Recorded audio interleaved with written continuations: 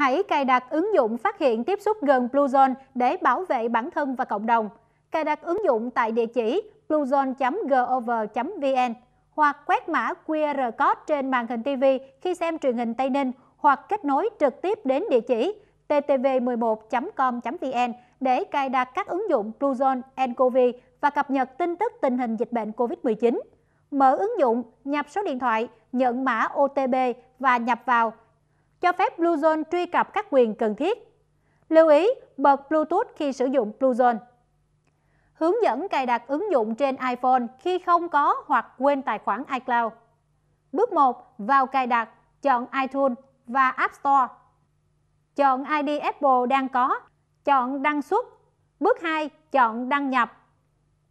ID Apple bluezone tn a vòng gmail.com Password bluezone 123 Lưu ý, Bluezone 123 có chữ B viết hoa.